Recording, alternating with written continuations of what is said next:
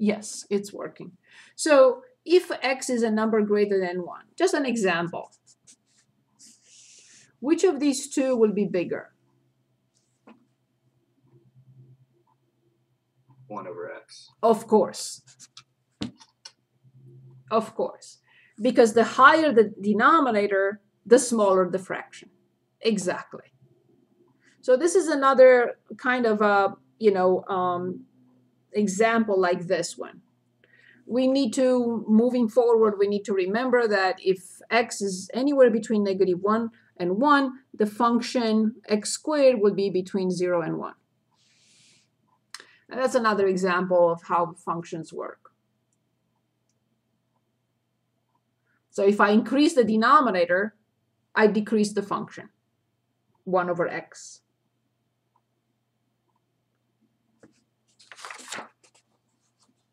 We may encounter other general truths moving forward.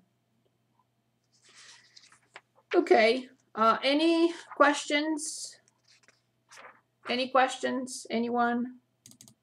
Uh, can you do another example of a Ye- problem like that? Yes. So let me go back. Okay. So, um,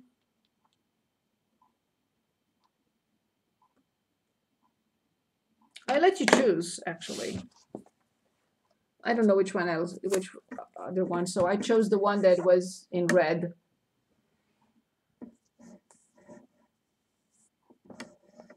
Um, 54. Oh, 54? Oh no, I'm reading it wrong. Um, the the one after the red one. You mean this one, 58? Yeah. Okay. Yes. Very good. Let's do that. Perfect pick, I'm sure.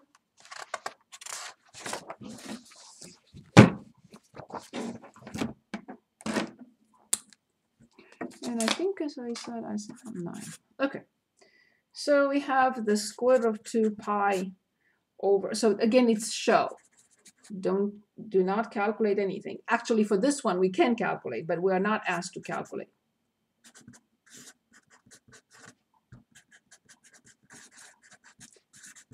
For this one, we can I can determine the antiderivative. It's negative sine x. I plug in the numbers and I get the answer. But that's not what they want us to do.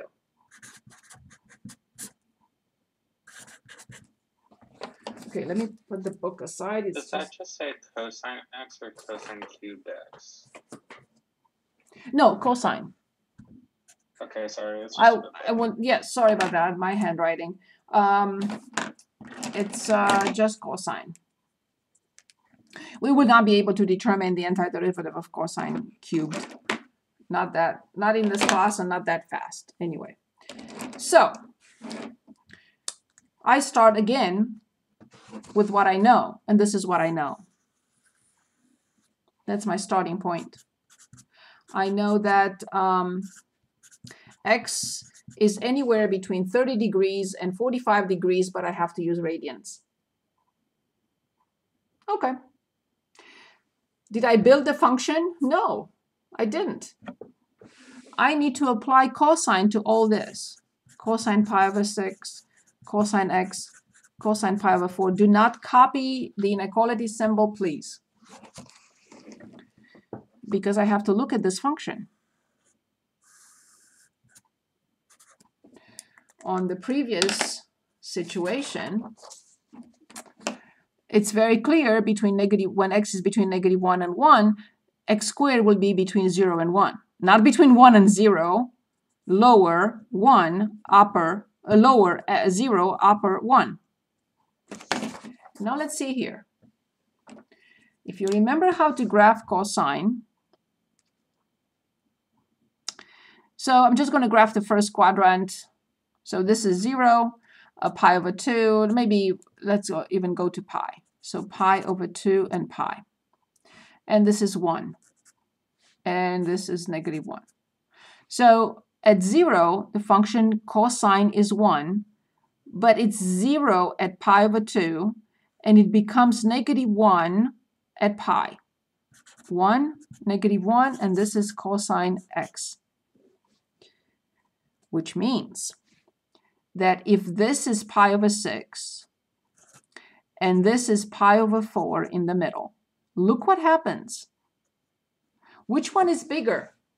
I cannot blindly copy the inequality symbols. I have to check whether the function is increasing or decreasing on that interval. So which one is bigger? Is it cosine pi over 6 or is it cosine pi over 4 that is bigger? Six. Right. So be very careful with these inequalities because they may be this way, but they may be this way. So for decreasing functions is a different story.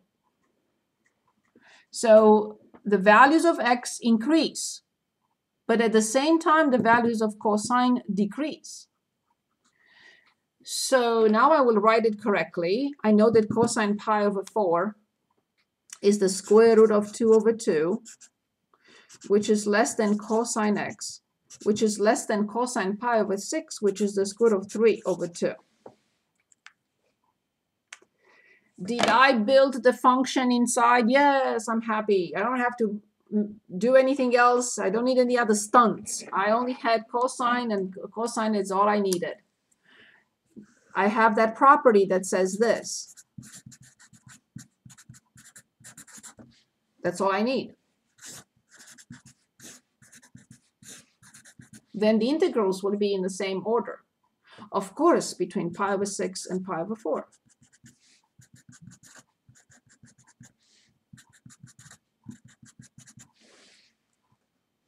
And it's done.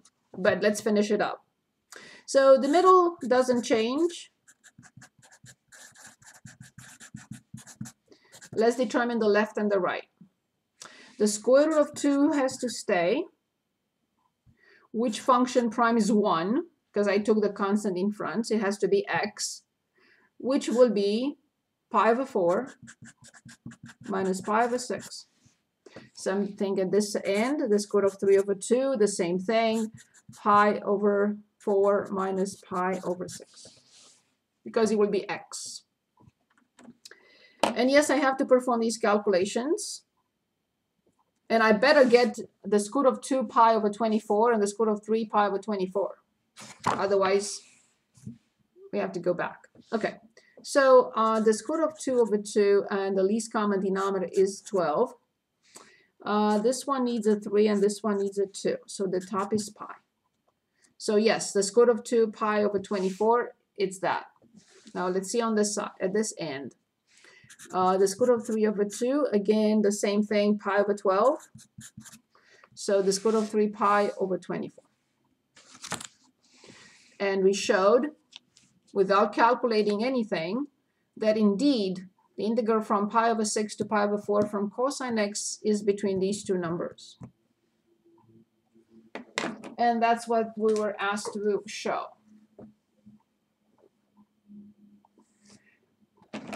Good pick.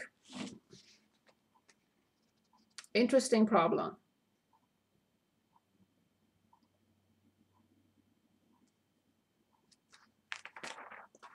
Careful with the, uh, you cannot automatically say, okay, this is the order of um, x, the order of the function will be the same, because it's not always the case.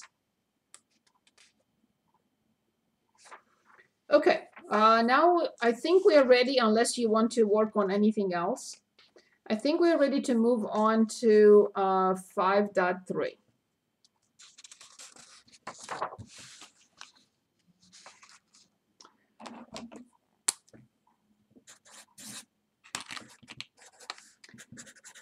The fundamental theorem of calculus. Fundamental theorem of calculus. You can say again, uh, no.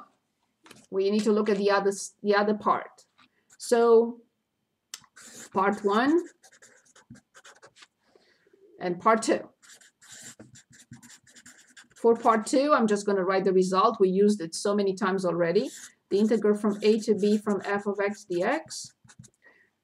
f of x must be continuous on a comma b is the antiderivative, the most general antiderivative from a to b, which translates into uppercase of b minus uppercase of a. That is done. I didn't, I could not wait. Like I couldn't wait with L'Hopital's rule for the end of chapter four. I needed it in chapter three. The same thing here. I needed this way before it's presented in 5.3. Okay, but what about part one? So in short, what does part two say?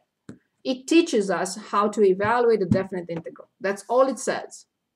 Under this condition of continuity, it says that if you want to find the integral from a to b from f of x dx, find its antiderivative. If you don't, if you cannot find the antiderivative, then you cannot use this. So assuming and hoping that we can find the antiderivative, then I know the answer right away. Well, what does part one say? Part one is showing us that integration and differentiation are inverse operations, inverses of each other.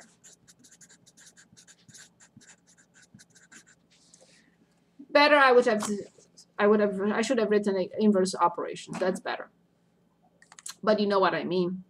So that's part one. How does this show? Okay.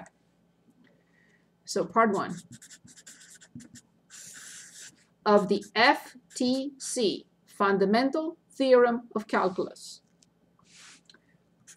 FTC. It has two parts. One shows how to calculate definite integrals. The other one is showing us that uh, differentiation and integration are inverse operations. Okay. So let's take a look at the following scenario.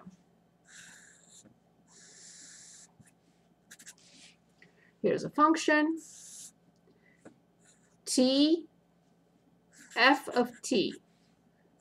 And you can say use x. No, now this time I have to use a different letter. Okay, I hope you agree that um, on the interval a comma b, the function is continuous. And if I ask you what is the integral from a to b from f of x dx, aha, no, no, no, t. You will tell me what? You don't know what it is, but you know what it represents. Is the area.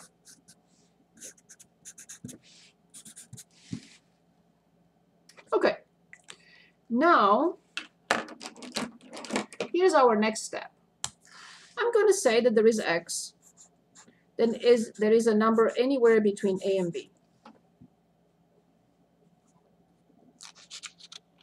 So in other words, I'm telling you that x could be a, or x could be here, or could be here, or could be here, could be here, could be here, anywhere. And now I'm going to ask you, and what do you think this represents?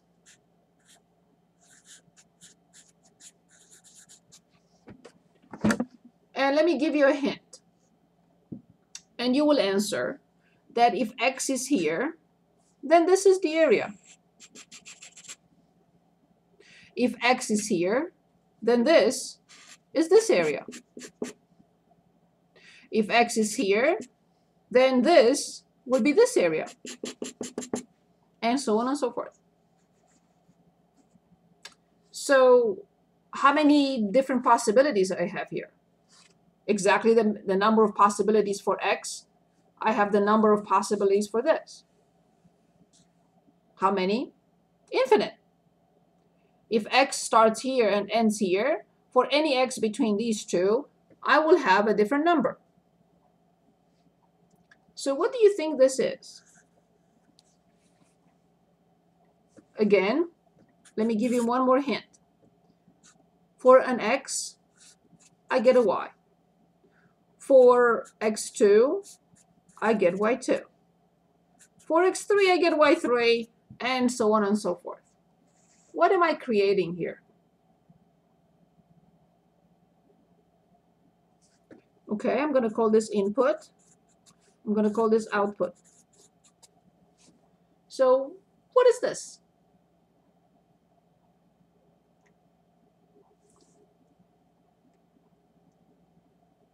If for every input I get a different output what am I creating?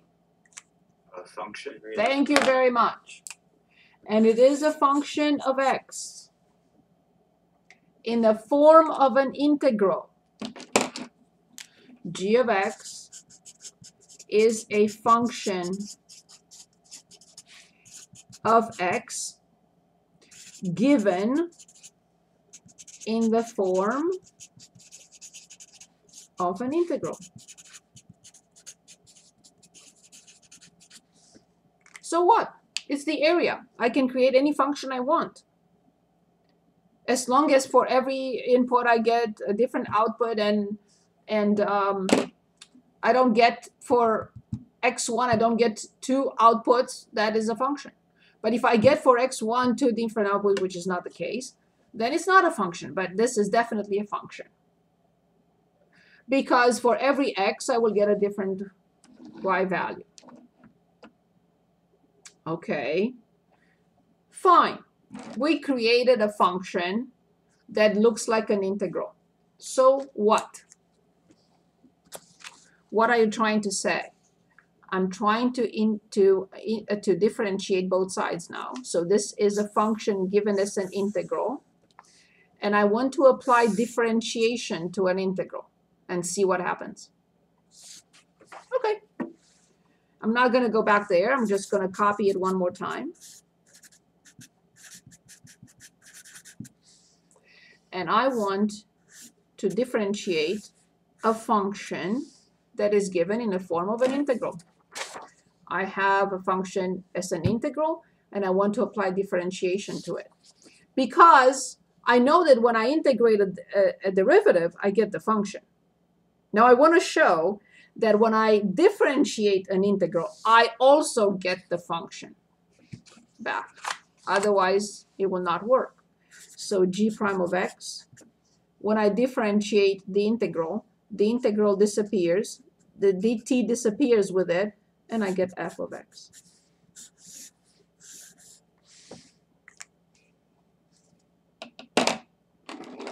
This is only showing that when I differentiate an integral, I get the function.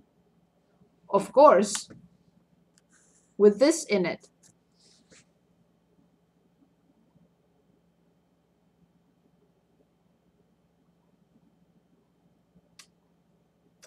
Okay, So after you differentiate ft dt, that would be that would then go to f of x. I'm differentiating not ft dt, I'm, I'm differentiating the integral from f of t dt. Oh, okay, and so since you have x as the upper bound, then it would go back into the equation. Correct, exactly. Gotcha. All right. thank- Thank you. Very good. So now let's look at applications of this. So we will be given a bunch of functions. Whenever I'm given a function in a form of an integral, like this one, I will never be uh, uh, asked to, to find the integral. No, no, no. I will only be asked to differentiate both sides and find g prime. This is the only question that I could be asked here. If I'm given a function in a form of an integral, the only thing I could be asked to do is to find the